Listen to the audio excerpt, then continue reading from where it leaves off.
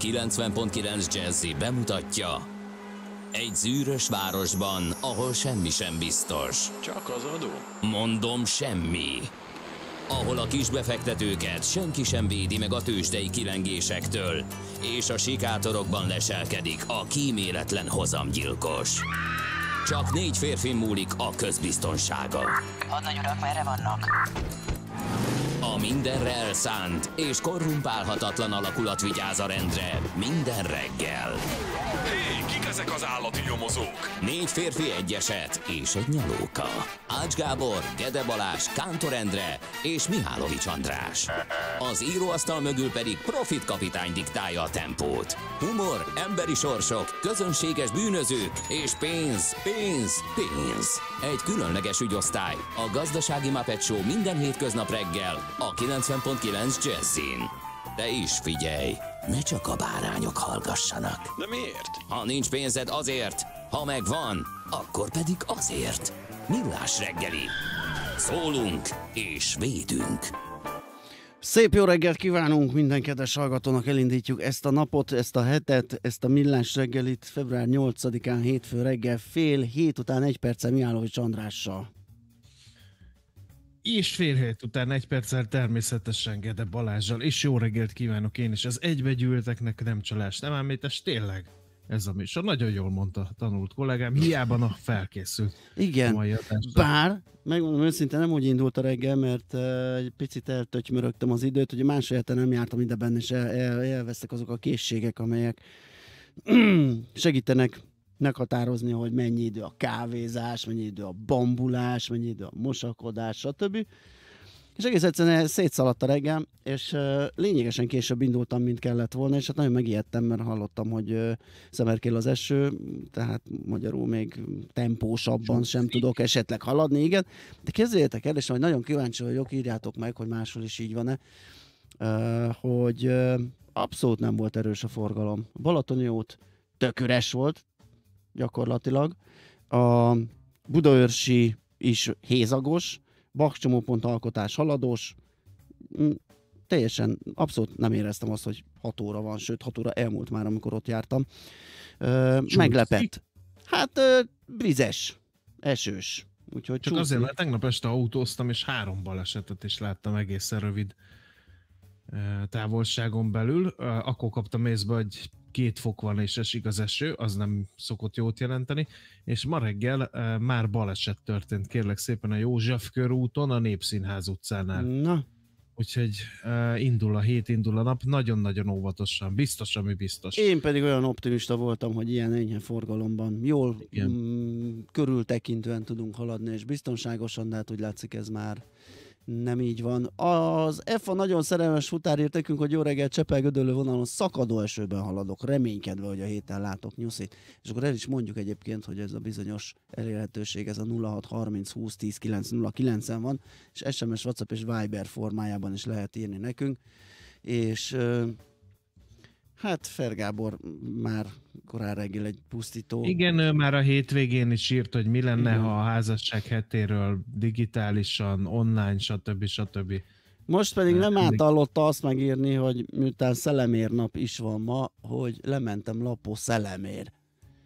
Ugye, hát ez az elemér napra és lapos elemérre szóló vicc. Úgy Hát értem, igen. baj. igen, szerintem lehet, hogy túlpihente magát Fergábor, de minden esetre nagyon köszönjük.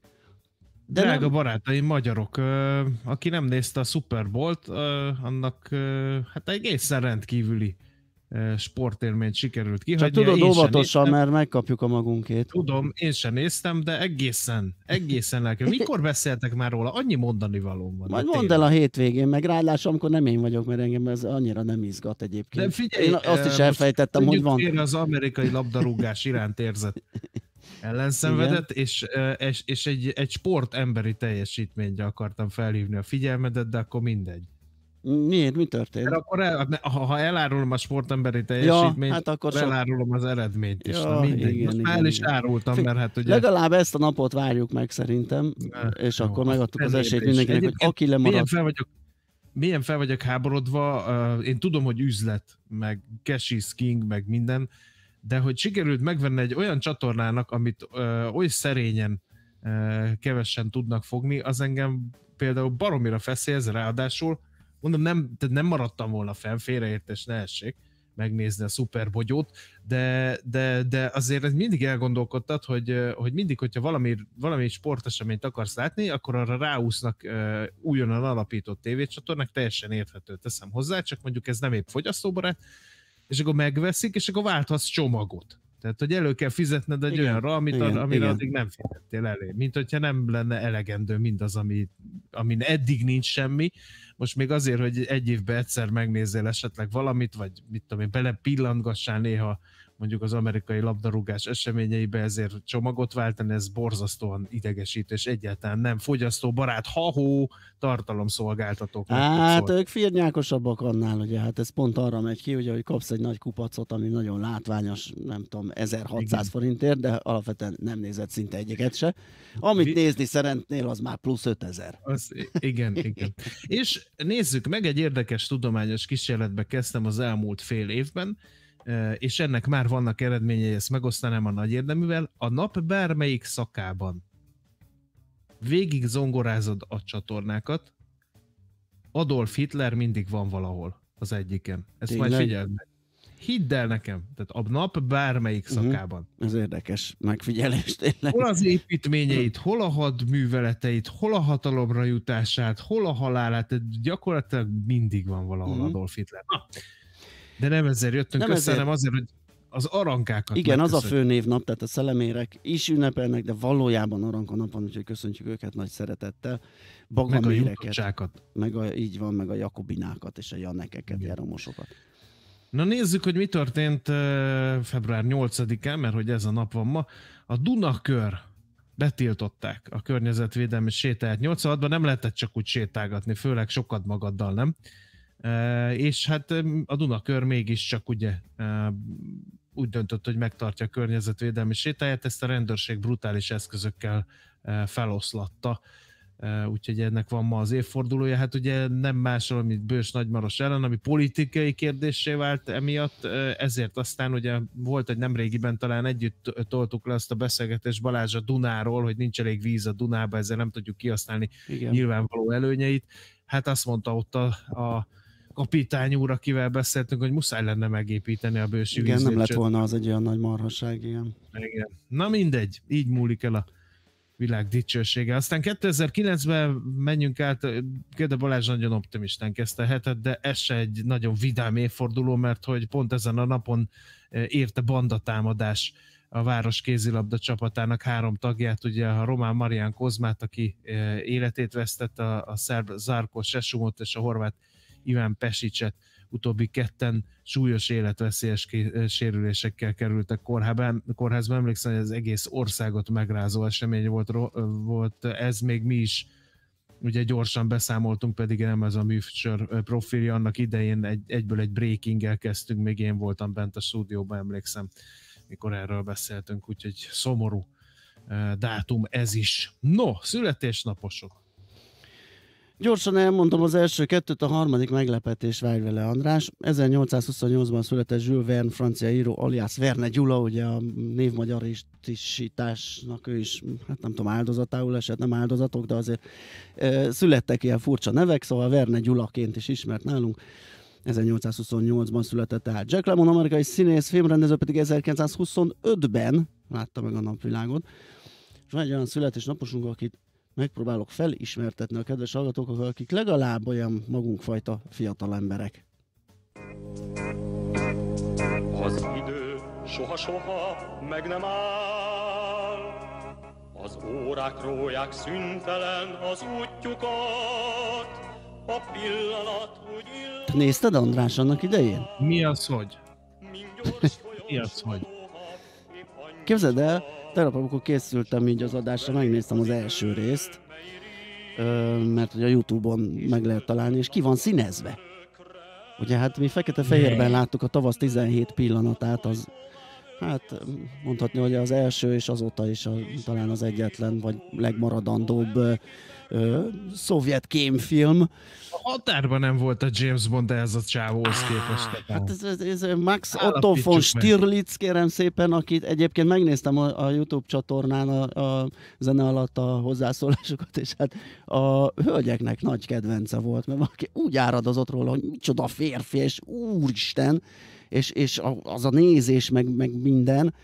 Na hát őt alakította Vyacheslav Tihonov, szovjet színész, aki 1928-ban született ezen a napon, őrá emlékezünk, és egyébként a tavasz 17 pillanatának a kezdő epizódja is február 12, 1945, tehát nagyjából ott is stimmelünk az időben. És, És arról nem is beszélve, hány vicces tréfa uh, született a igen, hát a Stirlitz abból, már hogy tudta, narrálták ugye? az egészet. Tehát Stirlitz gondolatait egy, egy elég mély hangú, nem tudom, sajnos a szinkron színésznek a nevét, aki mondta, alá mondta, ez a Stirlitz egyedül bóklászott az elhagyatott berlini utcán, beleszívott cigarettájába, és azon gondolkozott, vajon holnap meglátogatja-e Obersturmbannführer barátját, és ekkor a szeme sarkából egy árnyékot vett észre. Bagoly, gondolta Stirlitz. Stirlitz, gondolta a bagoly. Tehát ilyenekből volt egy csomó, nem emlékszel ezekre? De hogy nem. Igen, és hát nem egy hömpögő nagy ütemű. Hát tehát, nem, nem egy, nem egy ilyen lendületes De képzeld el, hogy de, de, de, viszont, de viszont érdekes, hogy sokszor csalódik az ember ilyen gyerekkori filmélménybe, hogy nem ugyanazt kapja, mint amire emlékezett, de meg lehetett nézni, 45 perces egy epizód, 12 rész készült, ugye, és végignéztem. Én, én, én emlékszem, hogy értem a gyanúperrel, hogy úgy tűnik, mintha Stirlitz a jó oldalon állna, de én azt hittem, hogy az fog kiderülni a végén, hogy nem bírja nyomást, és végül átáll. Ja, igen, Nem volt végig egy ilyen, de lehet, igen. egy ilyen érzésed? Igen, igen. Na mindegy. Jó, tehát Vyacheslav Tihonovnak a születésnapja alkalmából nosztalgiáztunk el a tavasz 17 pillanatán és Stirlitz alakján. Egyébként pedig 90 éves lenne James Dean, amerikai színész, ugye a popkultúra egyik ikonja, és hát ugye tragikus hirtelenséggel hunyt el, de itt van kérem egy másik nagyon neves születésnapos, Nick Nolte, amerikai színész, 80 éves, de szerintem 134-nek néz ki, uh, ahogy mostanában látom egy-egy ilyen epizód szerepbe felbukkanni, úgyhogy hát szegény nem gyakran, vagy hát túl gyakran nyúl a pohárhoz, azt mondják, és Uh-huh. És nem hidratációs szempontból, úgyhogy, úgyhogy hát ez, ez lenyomatot hagy az ő fizimiskáján, úgyhogy de Isten éltesse Nick Noltit, nagyon szerettem egyébként a egyébként a, a, az ő filmjeit is. Aztán Szulák Andreának Kisztihand 1964. február 8-án született, és a mi Marcink, mert a siker közös, a kudarc meg csak az övé, Fucsovics Márton magyar teniszező 1992. február 8-án született, úgyhogy jó egészséget, további sportsikereket kívánok Mártonnak. A kedves hallgató írt nekünk egy poén, nem tudom, hogy azért-e, mert hogy itt a múltban révettünk, és hát ebből kiderült éltes korunk, vagy csak úgy eszébe jutott ez a vicc, de így szól. Értem én, hogy előző életében fáraó volt, de nincs ennél frissebb vezetői tapasztalata? HR. Nagyon megy ez a mai reggel. Én azt mondom, hogy zenélek egyet. É, addig mindenki ocsúdjon föl, ébredjen fel, igyen egy kávét, felté, vagy ezek után még kell, és megnézzük a lapokban ki mivel indítja a ma reggelt, a mai hetet. If I were to start again and try my best.